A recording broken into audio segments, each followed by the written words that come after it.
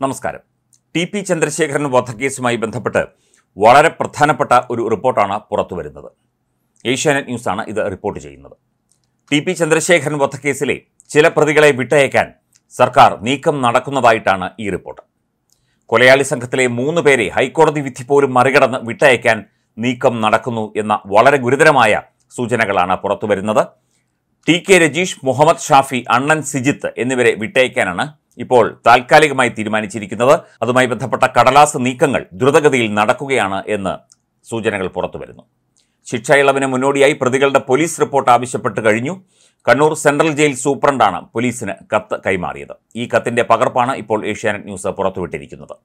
ശിക്ഷ ഇളവില്ലാതെ ഹൈക്കോടതി ജീവപര്യന്തം തടവിന് ശിക്ഷിച്ച പ്രതികളാണ് ഈ മൂന്ന് പേരും. ഹൈക്കോടതി വിധി പോലും മറികടന്നാണ് സർക്കാരിന്റെ ഗൂഢനീക്കം.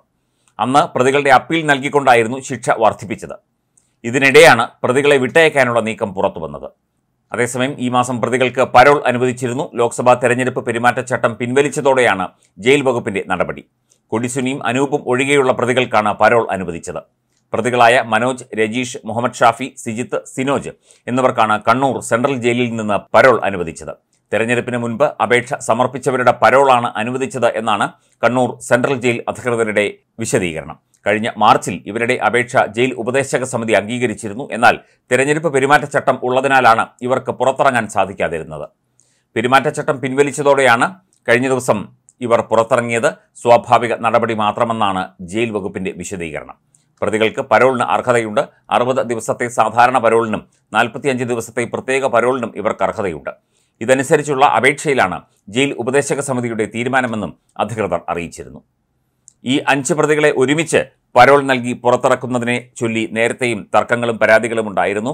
മാത്രമല്ല ടി പി വധക്കേസ് പ്രതികൾക്ക് വിവിധ ജയിലുകളിൽ കിട്ടുന്ന സൗകര്യങ്ങളെക്കുറിച്ചും അവർക്ക് കിട്ടുന്ന പിന്തുണയെക്കുറിച്ചുമൊക്കെ കാലങ്ങളായി വാർത്തകൾ വന്നുകൊണ്ടിരിക്കുകയായിരുന്നു. ജയിലിൽ ഇരുന്നു കൊണ്ട് തന്നെ കൊട്ടേഷൻ സംഘങ്ങളെ നിയന്ത്രിക്കുക ജയിലിൽ ഇരുന്നു കൊണ്ട് മറ്റു പല ഗുണ്ട ഇടപാടുകളും നടത്തുക ഒക്കെ തന്നെ ഇവർക്ക് അനുവാദമുള്ള കാര്യങ്ങളായിരുന്നു എന്നായിരുന്നു പരാതി. മുഹമ്മദ് ഷാഫി പരോളിൽ ഇറങ്ങി കല്യാണവും കഴിച്ചു. ഈ കല്യാണത്തിന് ഇന്നത്തെ സ്പീക്കർ എൻ ഷംസിർ അന്ന് പങ്കെടുത്തതിന്റെ ചിത്രം സമൂഹമാധ്യമങ്ങളിൽ വൈറലാവുകയും ചെയ്തിരുന്നു. ടി പി ചന്ദ്രശേഖരനെ കൊന്ന പ്രതികൾക്ക് ഇത്രയും സഹായങ്ങൾ സി പി എം ഭരണത്തിൽ കിട്ടുമ്പോൾ ആരാണ് ഈ കൊലപാതകത്തിന് പിന്നിൽ പ്രവർത്തിച്ചത് എന്നുള്ള കാര്യം ഊഹിക്കാവുന്നതേ ഉള്ളൂ എന്നായിരുന്നു K K Rema M L എയുടെ പ്രതികരണം. ഈ വിഷയത്തിൽ ശക്തമായ നിയമ നടപടികളുമായി മുമ്പോട്ട് പോകും എന്നാണ് K K Rama M L A പ്രതികരിച്ചത്. ഇത് സർക്കാർ ഇവർക്ക് ചെയ്തു കൊടുക്കുന്ന ആനുകൂല്യങ്ങളാണ്. ടി പി എ കൊന്നതിനുള്ള സഹായങ്ങളും ടി പി എ കൊന്നതിലുള്ള അഭിനന്ദനങ്ങളുമാണ് സർക്കാർ പല വഴിക്ക് ഈ പ്രതികൾക്ക് ചെയ്തു കൊടുക്കുന്നത്.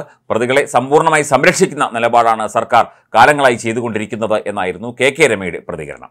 ഏറ്റവും പ്രധാനപ്പെട്ട പ്രതികളായ മൂന്ന് പേരെയാണ് ഇപ്പോൾ നിരുപാധികം വിട്ടയക്കാൻ ഒരുങ്ങുന്നത് എന്നുള്ള റിപ്പോർട്ടാണ് പുറത്തു വന്നിരിക്കുന്നത്.